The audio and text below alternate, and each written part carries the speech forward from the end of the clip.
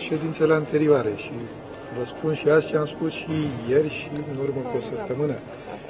Dacă domnul Ghiță este în România, vom proceda la audierea dânsului. Cercetarea pe care noi am început-o în urmă cu două luni de zile nu a fost închisă, v-am spus mereu. Pentru că am considerat util să-l audiem și considerăm că după audierea dânsului, dacă avem date, informații suplimentare, investigația noastră poate continua. Vorbim de speța, de speța în care pă, a făcut acele dezvăluiri legate de vacanțele aceea speță. domnului Alta Maior. Nu avem. Alta nu avem.